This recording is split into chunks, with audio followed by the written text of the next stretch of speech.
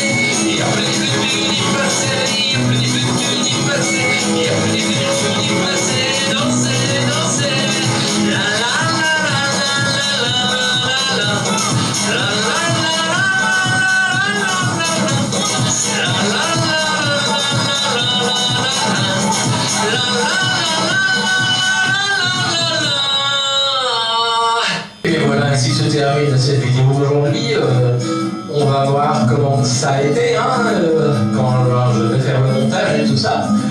Et bien, je vais vous laisser pour euh, cette fois-ci.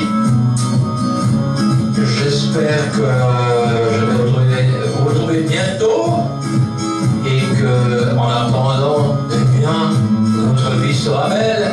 Allez, on se retrouve.